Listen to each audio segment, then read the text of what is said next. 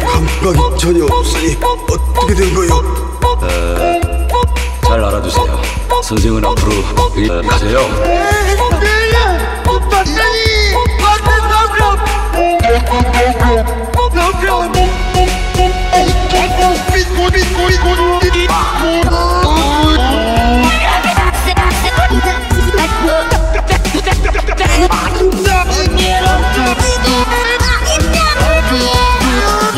아래 아래 이놈의 새끼들! 반대로 반대로 반대로